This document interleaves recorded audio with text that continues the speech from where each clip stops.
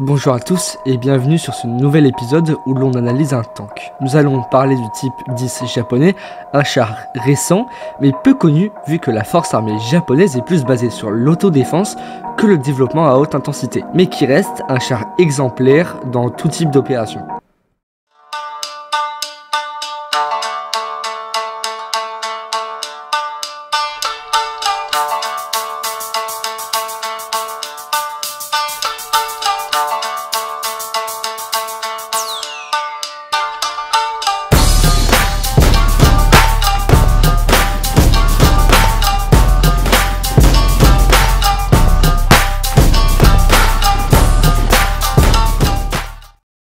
Le Type 10 est un aboutissement pour les Japonais qui étaient en retard comparé à ses homologues chinois et coréens. Au début des années 2000, la force terrestre d'autodéfense japonaise a souhaité moderniser ses chars de combat type 74 et type 90 afin de s'adapter aux futurs conflits du 21e siècle. L'élément central de cette modernisation devrait être l'intégration d'un système C4 ISR embarqué, mais une modernisation de ces chars ne permettrait pas la mise en place de ce système. En 2002, le gouvernement décide donc de repartir de zéro en réfléchissant à une nouvelle base de chars son développement fut confié à l'Institut de recherche et de développement technique de Sagamihara. En 2009, la conception du T10 est finalisée et dès l'année suivante, donc en 2010, les premières commandes du Japon affluent. Après une première commande de 13 chars pour le prix de 7,3 millions d'euros l'unité et une entrée en service en 2012, le Japon récidive sa commande jusqu'à aligner 70 unités en 2016.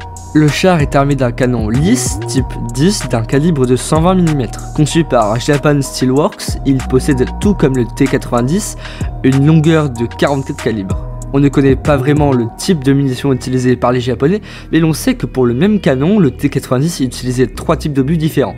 Les obus explosifs à charge creuse, JM12A1 HIT allemand, les obus flèches JM33 APF allemand et les obus flèches type 10 APF japonais qui sont plus modernes et comportent un alliage de tangène possédant un barreau à grand radio d'allongement. Le type 10 possède un moteur diesel V8 8VA comparable au moteur du Leclerc. Ce moteur possède une puissance maximale de 1200 chevaux à 2300 tours minute et possède une cylindrée de 17,2 litres. Il possède aussi deux turbocompresseurs à géométrie variable ou encore un groupe auxiliaire de puissance monté dans le dépôt de la caisse arrière gauche. Du côté protection, la pointe avant du glacis ainsi que l'avant de la tourelle intègrent un blindage modulaire sous forme de caissons amovibles.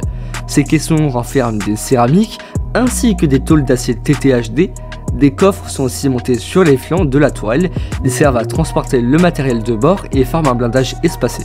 Des modules de blindage additionnels peuvent être également montés sur le type 10, faisant augmenter sa masse en ordre de combat à 48 tonnes. On pourrait penser alors que le char a un blindage très traditionnel, mais il ne faut pas oublier les 4 détecteurs d'alerte laser Goodrich Corporation, modèle 301 MG, qui sont montés sur les coins de la tourelle.